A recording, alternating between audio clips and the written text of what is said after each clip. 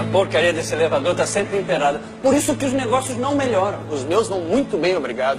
O elevador quase nunca funcionou. Não faz muita diferença. Esse é o exemplo que eu digo, que essa galeria tá muito mal administrada nas mãos do Ramon. Mas quem indica a empresa de manutenção é você. Isso não é o caso, companheiro. Tá tentando desviar do assunto? Ah, impressionante.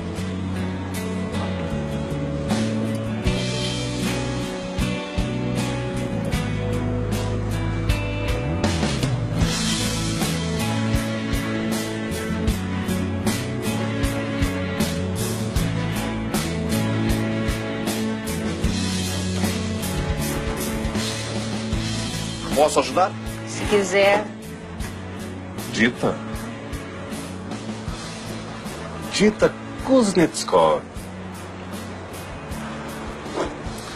Não sabia que você ainda se ligava em gibi. Achei que agora você só se interessasse por ópera. Você gostaria de conhecer a minha coleção? Comprei muita coisa pelo mundo nas minhas turnês. Trouxe comigo alguma coisa. Você não quer me visitar no hotel? O que, que você quer, Dita? Diz logo. Eu quero conversar com os meus filhos. Quero explicar por que sumi da vida deles. Por que escolhi a carreira.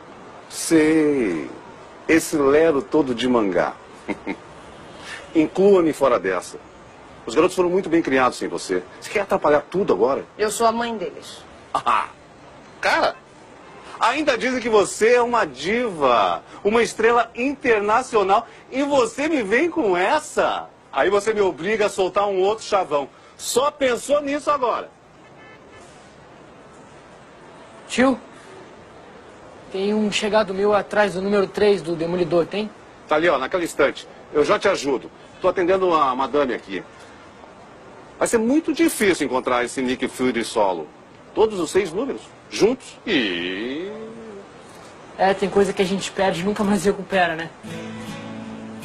Até quando se trata de gibi.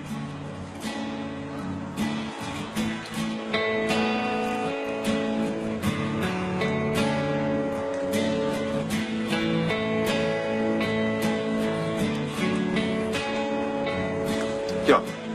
Nossa, tava na minha cara, valeu.